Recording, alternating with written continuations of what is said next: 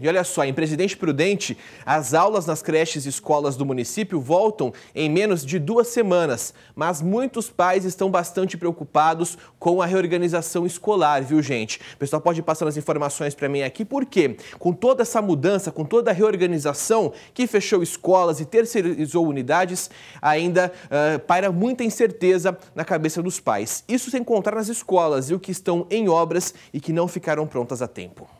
Canteiro de obras inacabadas, a Escola de Educação Infantil do Parque Alexandrina, na Zona Norte, deveria ter sido entregue em fevereiro de 2017. Quase dois anos se passaram e os portões continuam fechados. Sofrimento para Simone. Ela depende da creche para deixar a filha, Heloísa, de quatro anos, para poder trabalhar.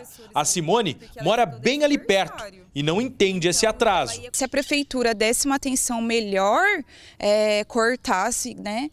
alguma coisa para terminar, porque é uma judiação ver a escola desse jeito que daqui a pouco até os vândalos vai, vai ser cometido isso, né? Vai acontecer isso. Os alunos foram remanejados para duas escolas novas, né? Assim, outras escolas em outros bairros, no Jardim Regina e no Jardim Aviação. Pela cidade, outras unidades também estão com obras inacabadas. Uma delas que ajudaria a amenizar os problemas de vagas é esta no João Domingos Neto, também na Zona Norte. A situação que vive a educação em Presidente Prudente se agravou com o anúncio de fechamentos de escolas e terceirizações em algumas unidades. Para quem mora nos bairros da Zona Norte e precisa das creches, vai ter que levar os filhos para outras duas unidades que, em tese, ficam mais próximas, como essa da Vila Maristela. Agora, além das reclamações com a distância, os pais estão insatisfeitos também com os horários. Minha filha sempre estudou integral e ia fazer o pré-integral. Aí agora, porque tem um volume muito grande de crianças que foram transferidas para as outras escolas,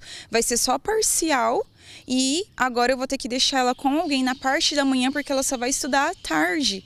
E eu só tenho uma hora de almoço, nessa uma hora eu vou ter que levar ela para a escola ou eu vou ter que contratar uma van então vai ser um gasto bem a mais. Ao longo do ano passado, a Secretaria Municipal de Educação veio realizando uma série de mudanças, o que chamou de reorganização da rede física para atender a demanda de alunos. O sindicato da categoria ouviu os pais de alunos e os servidores das escolas. Apontou falta de planejamento num assunto extremamente delicado. A impressão que se dá é que não está havendo planejamento e organização prévia. E no caso da educação e de outras políticas públicas, de outros serviços públicos, como a saúde, a assistência social, não dá para fazer as coisas assim, da noite para o dia, de uma forma impensada. Então, é necessário planejamento e organização.